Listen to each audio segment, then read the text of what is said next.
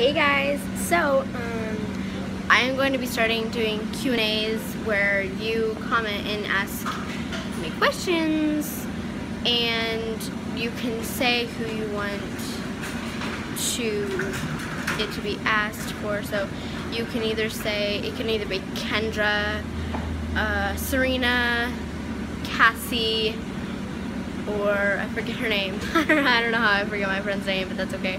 Um, okay, so Serena, said da da, da, da, da, or Madeline. So, or it can be all four. So, you know, just comment and we will do a Q&A.